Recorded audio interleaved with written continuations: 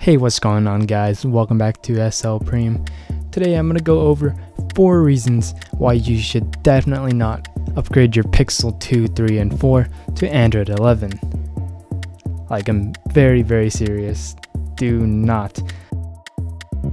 Coming into number one, it's actually the battery.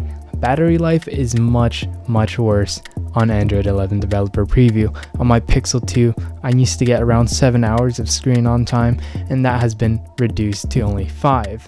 And number 2 is much slower performance. I actually ran a speed test on Android 11 Developer Preview versus Android 10, and the difference is around 15 seconds with only these set of apps. So that's 5 times 4, 20 apps, 15 seconds of difference with only 20 apps versus Android 10, so it's definitely a lot slower.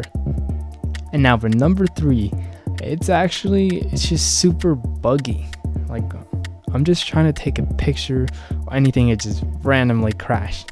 I'm trying to like sign into an app, it just crashed. I'm trying to watch a video, comment on something, and I can't even type. Just random things like this. I'm trying to apply a style, and then Google Assistant comes out of nowhere, and the actual style hasn't even been changed.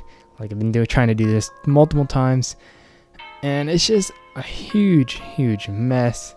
Like, let me show you guys in the video. I can actually try to record a video and it would just instantly crash. Like before Android 11, my phone's working perfectly. So definitely should you should have multiple phones if you're going on Android developer previews because yeah, it's very very buggy. And now for number 4.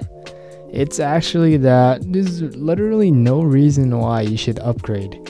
There's nothing new that's actually life changing. Like, the biggest feature is the app switcher, and even that is total garbage. It's super laggy. And I mean, it's still in beta, but still, it's a lot worse than the old one, which you can actually multitask and like click on different apps. But instead, they removed the quick access apps, and now it's just random buttons like screenshot and select. I mean, there's also screen recording, which should have been in Android 10, and it's really not that useful. You can literally download any app like AZ Screen Recorder, and it could still work very, very well.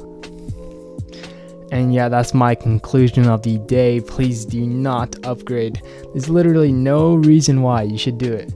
Like, you're just trying to be cool, like show your friends, wow, look, I'm on Android 11. My phone's super buggy. It crashes every 2.5 seconds. My battery life is much worse.